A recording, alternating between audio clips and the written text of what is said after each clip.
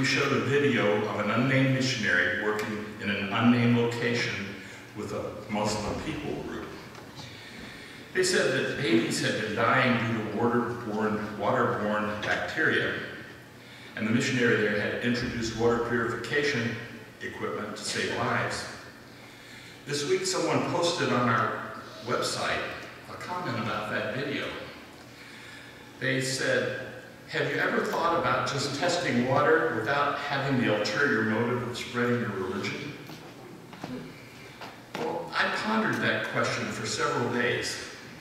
Then on Thursday, I was reviewing videos for today's Missionary Moments and came across a video of Zane Pratt talking about changing missionary strategies. You will recall last week that we talked about how to evangelize Muslims. That message came largely from a podcast by Zane Pratt. He's the Dean of Billy Graham School of Missions and Evangelism.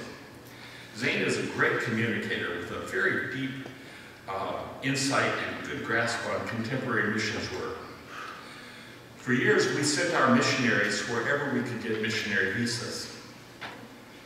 In areas that were closed to us, we used creative access to gain entry. Usually we could get access by offering humanitarian aid and relief and development assistance. Today, even those solutions are being shut down in some areas. Our newest strategy is called business as mission. It turns out that business people are welcome just about everywhere. Take a look at this excerpt of a presentation by Zane Pratt.